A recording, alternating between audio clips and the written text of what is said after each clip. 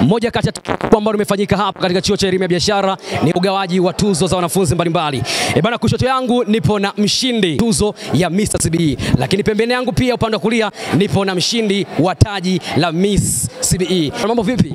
Poa mama. Habari ya kwako Glory? Poa. Hongera kwa kuibuka mshindi wa Miss. Ulivyokuwa kwenye stage, ni nani ambaye alikuwa anakupa upinzani zaidi? Hakuna. Hakuna. Hakuna. Nini ambacho sile mafanikio yako mpaka leo umeibuka kwa mshindi? Ni jitihada na uvumilivu na kujituma tu na kujipa moyo. Time. Yes, bana huyo ni mshindi taji la Miss CBE. E bana yeye anakuambia kwamba atafika mbali zaidi. Upande wangu wa kushoto nipo na Mr. CBE. E bana kama ujui, e bana huyu jamaa mwaka jana alishiriki na akashika nafasi ya pili. Lakini kwa upande huu wa mwaka huu amerudi na kuibuka nafasi ya kwanza kwa upande wa Mr. CBE. Jafari, mambo vipi? Poa. Ah, nimefurahi sana, sikutegemea. Yaani nimefurahi kinshoti sana. Jana ulishika nafasi ya pili, mwaka huu umerudi tena na. Wewe unahisi ni nini ambacho kimefanya uweze kuibuka nambari moja? Nimejifunza ma, makosa ambayo nilifanya mwaka jana, mwaka huu nimeyarekebisha, nimefanya vizuri zaidi mpaka nimeibuka mshindi hivi. Unatuahidi nini sasa watazamaji wa Docho TV?